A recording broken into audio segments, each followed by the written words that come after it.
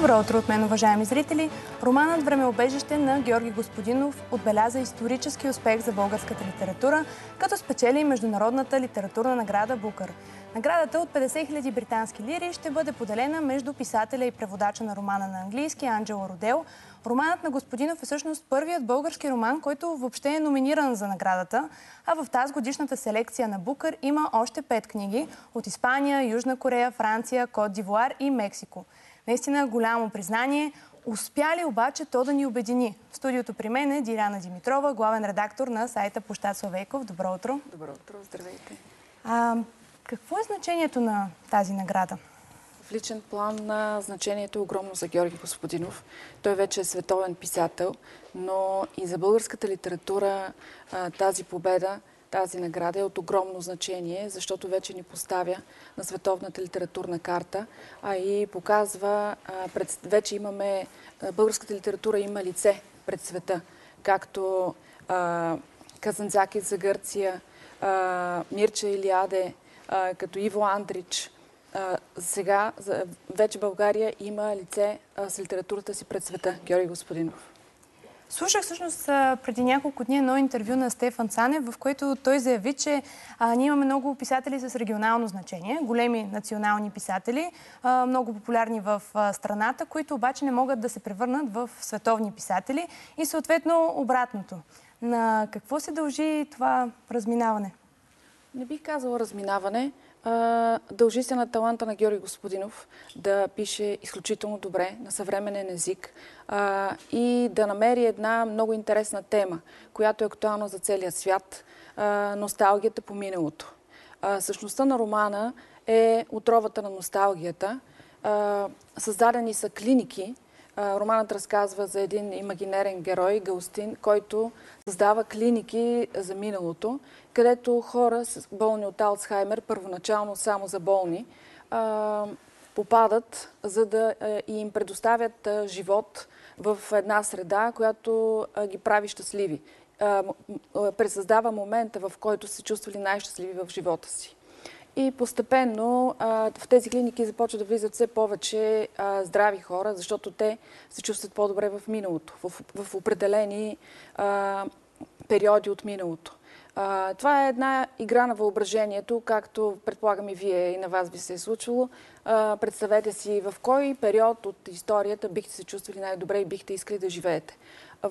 Георги Господинов поставя въпроса в кой период от нашето минало а, бихме искали да живеем. В, в кой момент сме се чувствали най-щастливи. Например, вие, вие сте 20 годишна, но да речем, вие в кой период сте се чувствали най-щастлива и искате да живеете, да се върнете и да останете завинаги там? На този етап най-вероятно в детството. А, всъщност, тъй като основната тематика на романа все пак е точно носталгията, носталгици ли сме ние българите? Да, определено, особено в последните години. В периода на прехода, като че ли българина остана изключително разочарован от това, което му се случи, защото мечтите му се разминаха с реалността. И това огорчение а, го тласка все повече в тези убежища на носталгията. най-вече преди 89-та година, когато а, живеехме в затвор – но привидно имахме всичко, макар и ефтино.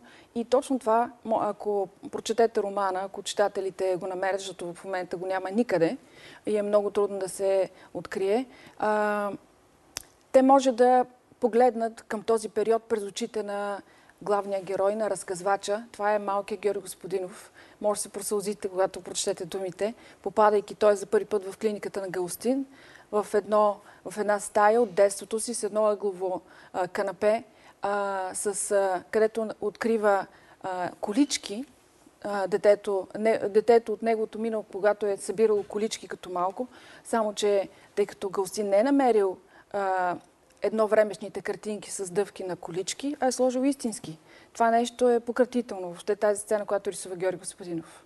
Можем ли българите да се чувстваме всъщност победители? Защото аз оставям с впечатлението, че толкова национален нихилизъм се излива и всеки път, като спечелим, а, като спечели някой българин на награда, започваме да се чудим, бе, как така стана? Ами, българите а, съвсем а, логично поставят а, в, в условията на корупция повсеместна е а, разбираемо, че във всичко търсят зад колисие и някакъв, някакви а, скрити сили, които действат а, срещу очевидното. Очевидното е Георги Господинов е спечелил съвсем честно тази награда. Но защо се зад... отрича този успех? А, не, масово не се отрича, но а, винаги има, аз ги наричам злобукари след този букър, а, които се наискачат и почват да търсят конспирация в тази награда, как е спечелил политическата коректност. Въобще едни и същи така аргументи се вадят, за да се омалуважи тази награда и тази изключителна победа.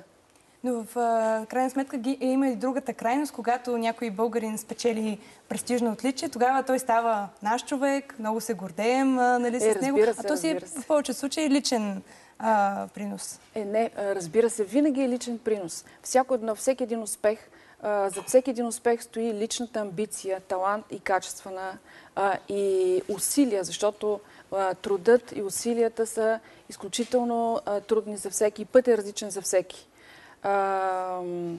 А, така че той може да... Наистина е личен успех. Но в този случай Георги Господинов проправя пътя за българската литература на световната сцена. Вашата крайна оценка каква е? Успя ли все пак да ни обедини до по-голяма степен? Знаете, на връх националния празник на 24 май, една такава награда с наистина символно значение. Ами няма значение дали ни обединява. Важното е, че а, дойде в изключителен момент. Беше действително някакво чудо на езика, както го нарече Георги Господинов в благодарствената си реч, когато получи Букара. Това точно в навечерието на 24 май беше някакво щастливо стечение на обстоятелствата, което превърна празника в двоен.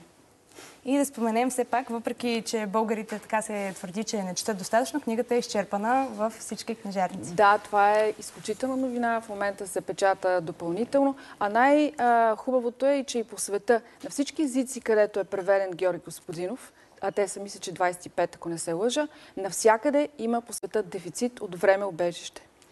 Много ви благодаря за този разговор. Наистина исторически успех за България. Сега обратно към Симеон и Хриси.